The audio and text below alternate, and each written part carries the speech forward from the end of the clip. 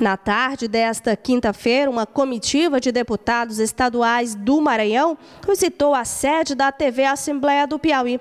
Os parlamentares, acompanhados do presidente da Assembleia Legislativa do Piauí, Temístocles Filho, conheceram um novo prédio. É importante porque aproxima a população do povo.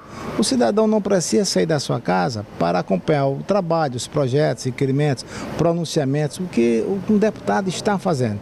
Então, a, a TV Assembleia, ou do Piauí, ou do Maranhão, ou de qualquer estado da nossa federação, aproxima a população. E a, e a TV Assembleia tanto a do Maranhão como a do Piauí, não é só para mostrar deputados, mostra a cultura, mostra o que tem de bom no estado do Piauí, dá oportunidade para aqueles que não têm oportunidade de sair em uma televisão. Para o atual presidente da Assembleia Legislativa do Maranhão, Humberto Coutinho, a visita é um momento para trocar experiências com o Piauí. A visita é uma visita de cortesia, é uma visita de troca de ideias.